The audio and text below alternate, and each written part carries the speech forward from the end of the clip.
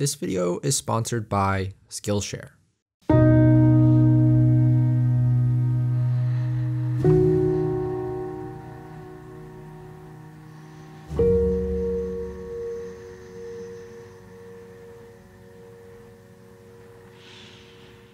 It's no secret that wildfires are becoming bigger, more severe. They're burning for longer and are becoming more destructive. This is the reality of life in a hotter, drier, climate ravaged world. Each year, thousands of acres of forest are burned, millions of dollars worth of possessions are destroyed, precious lives are lost, and countless more are put in danger. It might be easier to think of these wildfires as natural disasters, as something that we have no control over and that we must simply learn to live with but the reality is that they're anything but natural. Our actions as humans have contributed to a hotter, drier environment for these fires to form. Our management of fires has caused more fuel to build up, and the way we've built our cities has put more homes and more people in the most fire prone areas. Of course, that also means we, as humans, can play a role in solving this problem. And there are any number of efforts we can undertake to tackle the issue of wildfires, the impact they have on our lives, and the impact they have on the natural world. Today, I want to share with you one such effort. I want to share it with you because, as I see it, it's emblematic of the sorts of modern environmental issues we are facing, where our actions have resulted in threats not only to our lives, but to the lives of the countless species we share our home with, and how we can play a role in reversing those actions. This is a story as much about us as it is about the natural world. We are, after all, part of that world, and we can have a say in making sure it stays that way. So today, I want to tell you about a tree called the giant sequoia, species that, for its entire history, has been dependent on fire for its survival, but whose survival is now threatened by those very same flames. To start off this story, I want to tell you a little bit about my own personal relationship with big trees. It all started during a family vacation to California. I had just graduated high school and was heading off to college at the end of the summer. There was a lot of uncertainty I had never lived on my own before and was unsure of where I was headed in life or what my next chapter held. I had no idea what I wanted to do, but I remember being on that trip and seeing a coastal redwood for the first time. The tallest trees in the world. I was awestruck. I was humbled. Here I was, with all of my issues and insecurities amidst this forest of giants thousands of years older than I was. They reminded me of my place in the world and instantly radiated a feeling of stability and security. Now, I wish I could tell you that big trees solved all of my problems. They didn't. I still deal with all of these issues to this day. But if I ever need that feeling of stability and security, I think about the big trees. I go and visit the big trees. I can't imagine my life without big trees and there are no bigger trees in the world than the giant sequoias. By volume, giant sequoias are the largest trees on the planet. They are stately, they are regal, they are magnificent. The most famous ones actually get names. Known as monarchs, here are a couple of my favorites. You've got General Grant, the grizzly giant, Genesis, King Arthur, one is just named Column, another one President, and the largest of them all is General Sherman. Let me give you a few facts about Old Sherm for some perspective. Located in the giant forest of Sequoia National Park, it is nearly 275 feet, or 83 meters tall, almost as tall as the Statue of Liberty. It is 103 feet around at its base, 31 meters. My wingspan is 5 feet 6 inches, which means you would need almost 20 of me to give General Sherman a hug. It weighs more than 4.6 million pounds, more than 2 million kilograms. That's 15 blue whales. the largest animal to ever exist on planet Earth. But what I find most impressive is simply how wide it actually is. At its base, General Sherman is 36.6 feet wide, 11 meters. You could fit two Honda Accords with room to spare across the trunk of this tree. They are incredible, monarchs of the forest, giants of our time. But they're rare. Super rare, actually. Some estimates say that there may only be 75,000 left on the entire planet. They're listed as endangered by the International Union for the Conservation of Nature. The reason for this is that their habitat requirements are super specific. There's about 48,000 acres of giant sequoia groves on Earth, only about the size of Cleveland, Ohio. They need moist, humid environments, not too hot, not too cold. They need good soil and an open understory to reproduce. This means that giant sequoias only exist in about 75 distinct groves on the western slope of California's Sierra Nevada mountains at elevations from 4,000 to 8,000 feet, roughly 1,200 to 2,400 meters. From the northernmost grove to the southern is less than 300 linear miles. Less than 500 kilometers separates the entire range of the species. Whether you find them in a national park like Sequoia, Kings Canyon, or Yosemite, a national forest like the Sequoia or Sierra, or a state park like Calaveras Big Trees, or through Native American stewardship, or through an educational institution. The point is, most sequoias lie within protected areas, but as we'll see, that might not be enough. You have to admire their resilience, though. They've basically built a career, so to speak, on being tough. How tough are you? How tough am I? How tough am I?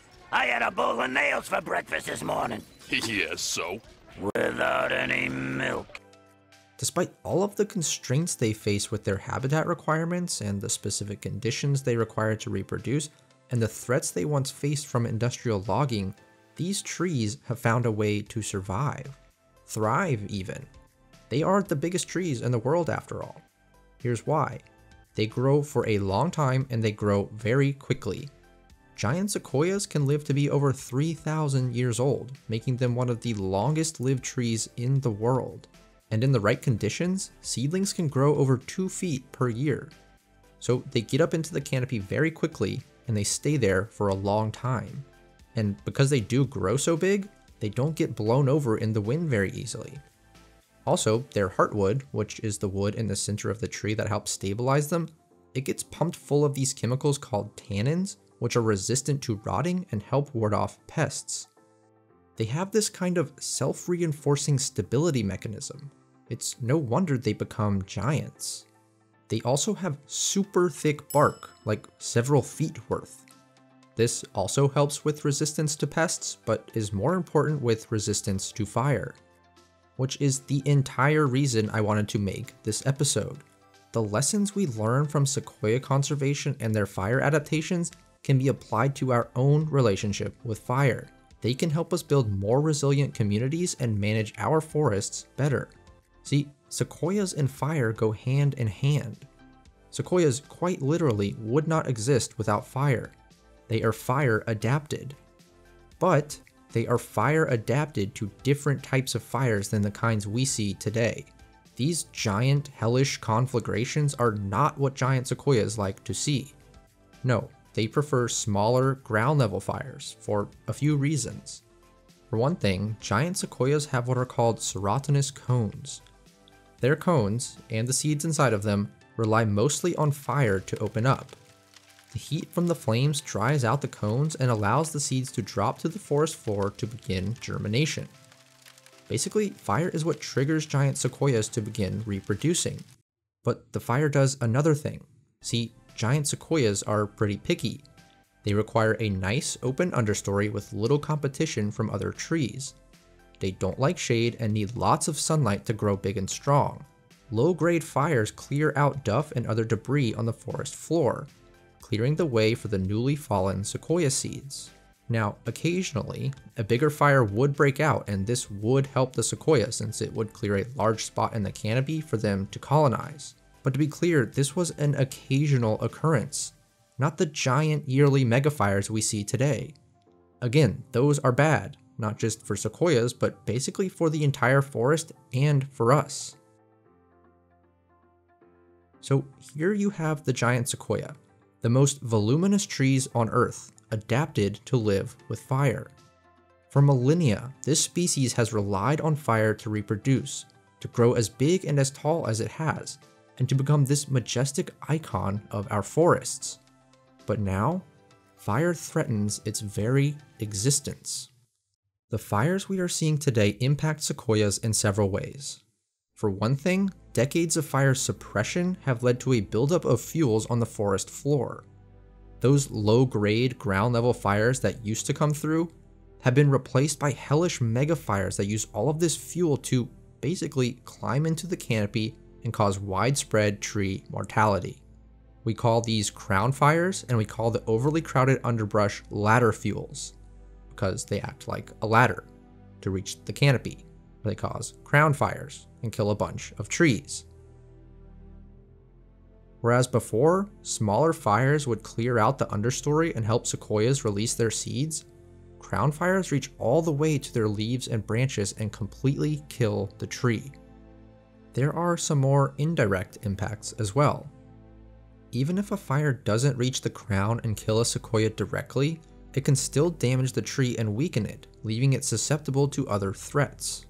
For example, sequoias aren't typically susceptible to pests like beetles. Their thick bark and tannin-rich heartwood protect against them. But sequoias weakened by fires are increasingly showing signs of beetle damage, an indication that repeated exposure to high intensity fire is making giant sequoias susceptible to threats they otherwise are adapted to handle. Then you've got things like droughts. Giant sequoias require huge amounts of water to survive, and historically, they've relied on the immense snowpacks of the Sierra Nevada for these nourishing liquids. But with climate change reducing snowpacks and causing earlier meltouts, that water supply is becoming increasingly strained which again weakens the sequoias and makes them susceptible to other threats, which again they have evolved to handle. Giant sequoias are adapted for fire. They rely on it. They are adapted to be pest resistant and drought resistant. But our actions are putting them under threat. The very thing these sequoias rely on to survive is now the very thing threatening their survival. But don't just take my word for it let's take a look at some of the data. According to the National Park Service, between 2015 and 2021, 85% of all giant sequoia acreage in their native range was burned. That number is only 25% for the entire 20th century. Think about that. More sequoia acreage burned in six years than for the entire preceding century. Just two fires alone, the 2020 Castle Fire and the 2021 KNP complex, killed between 13 and 19% of all large sequoias in the Sierra Nevada. That's somewhere between 8,000 and 12,000 trees. And remember, there are only roughly 75,000 of these trees in the entire world. That is a significant number of dead trees. It's looking rough out there for our giant friends but there are steps being taken to help ensure their survival. More immediately, these include measures you've probably already seen. Trees are being wrapped in a special tinfoil to deflect heat and repel embers away from the base of the trees. This foil is actually especially made for structures and houses, but it works just as well for trees. It has Kevlar and carbon fiber imbued into it to increase its heat resistance. In addition to foils, entire areas around trees are cleared of understory debris and duff to prevent them from becoming ladder fuels. Trees are also sometimes coated in flame retardant or foam. Sprinklers are installed to keep trees moist and increase the humidity around them. But these are emergency measures. Last gasp steps employed when fires have already broken out and are imminently threatening the giant sequoias. Even then, these measures are really only pulled out for so-called important trees like General Sherman or Grizzly Giant. The thousands of other sequoias threatened by wildfires are not so lucky. Nor is that practical. You can't wrap an entire species in tinfoil. No, to protect them and to protect this species, we'll need some more long-term solutions. Paradoxically, one of the most important solutions is in fact fire. See, to mimic historical fire regimes, those low intensity ground fires, land managers employ something called a prescribed burn. This is a fire set on purpose that is designed to clear out fuels and provide the sequoias with that much needed open understory. Native American tribes had actually been practicing this type of forest management for centuries before our modern fire suppression policies were enacted. I actually have a whole video about how prescribed burns work and our history of fire suppression. I'll link it in the description. But anyway, these prescribed burns will be key to future sequoia health because they mimic the types of fires that they have traditionally relied on to survive. Not the mega fires of today, but the small fires of the past. If we can do that, if we can bring the giant forests back into a state they have historically thrived in, then the giant sequoias have a chance. And we have a chance. Like giant sequoias, humans also don't like giant hellacious megafires. We can avoid the unnecessary loss of life and property, and we can repair an ecosystem we've had a hand in destroying. It's a win-win for us and for the sequoias. Okay guys, thanks for watching and thanks again to Skillshare for sponsoring this video. So as you know, this entire channel is dedicated to online learning. I want to make parks and conservation education as accessible as possible online. And everything I do to make these videos, I learned online. So when I got the opportunity to work with Skillshare, it was a no-brainer. They have thousands of classes for people who want to learn something new and explore their own creativity. Personally, I've been enjoying a couple of classes from two creators I really admire. Thomas Daher, a creative and editor from Yes Theory, has a course on creating engaging stories for YouTube and Nathaniel Drew has a course on speaking confidently on camera. I've honestly just been terrified of this since I started creating on YouTube, and Nathaniel's course is helping me work past that and invest in myself and in the future of this channel. Everything on Skillshare is ad-free and new premium courses are launched each week. So if you're ready to learn something new and invest in yourself, the first 1,000 people to click the link in my description will receive one month of Skillshare for free. I think you'll find it well worth it Thank you again to Skillshare for sponsoring this video. Thank you so much for watching. Don't forget to like this video and subscribe to the channel for more park stories. I also am on Patreon now, so you can join my Discord, vote on video topics, and join my book club. You can also get your name in the credits. Head to patreon.com slash National Park Diaries to find out more. Thanks for watching. See you next time. Goodbye.